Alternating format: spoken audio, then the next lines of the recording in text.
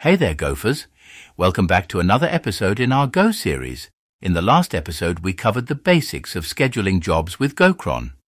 Now we're tackling some advanced topics, why you might choose GoCron over GoRoutines, how to use it with jobs executor like Faktory, and how to prevent duplicate jobs, especially in distributed systems.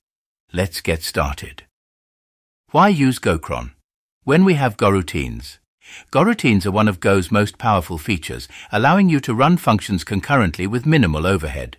So, why would we need GoCron when GoRoutines exist?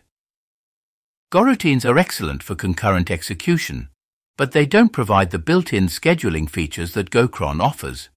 For example, if you want to execute a task at a specific time or repeatedly at regular intervals, you'd need to manually manage timers, sleep durations, and error handling. GoCron abstracts away the complexity of managing these schedules.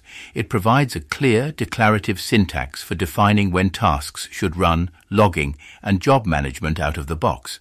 This becomes especially important in distributed systems, where tasks need to be managed across multiple instances without risking conflicts or missed executions. Ideally, you would not want to run the long-running processes in a GoRoutine or GoCron.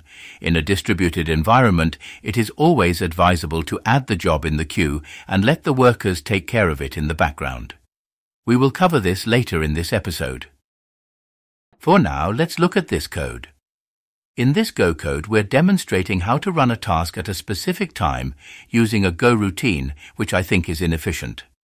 Anyway, let's take a look at this. Here, in the main function, we specify the time when we want our task to run. In this case, it's set to 5 seconds from the current time. Then, we create a channel called Done to signal when the task is completed. We start a Go routine with this function. This function will wait until the specified time and then execute the task. Here, the code waits using after function, combined with until function to pause execution until the specified time. Once the time is reached, it logs that the task is running and then logs when the task is completed. After the task is done, the function sends a signal through the done channel to notify the main function. Finally, the main function waits for the signal from the channel before exiting, ensuring that the task is fully completed. Now this is a simple one-time task. What if you want to run something at regular intervals, daily or weekly? In the previous episode, we explained how easy it is to create such tasks with GoCron. We can create different kinds of jobs like periodic jobs, cron jobs, daily jobs, jobs with random duration, etc. GoCron makes scheduling these tasks much easier than maintaining Go routines. In a distributed environment, packages like GoCron come in handy.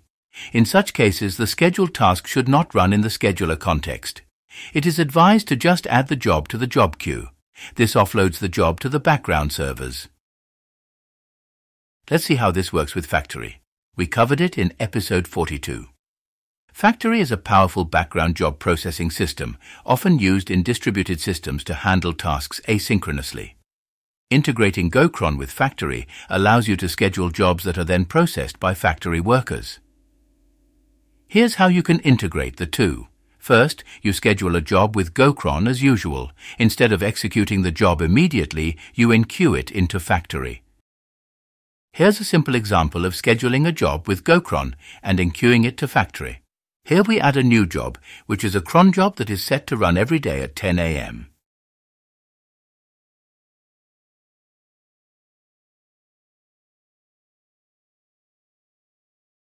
In the job's task function, we create a new Faktory client. Then, we handle the error. Here we create a new job called report. It sends the report to this email ID. Next, we specify the queue. At last, we push the job to the queue.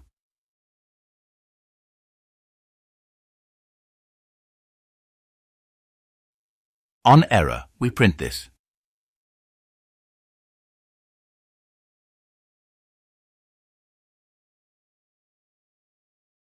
We can add more jobs like this easily with GoCron.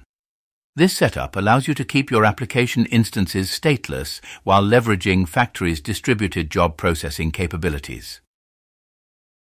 Now let's talk about preventing duplicate jobs, which is a crucial concern in distributed systems. In a multi-node setup, you may have multiple instances of worker machines that run the jobs.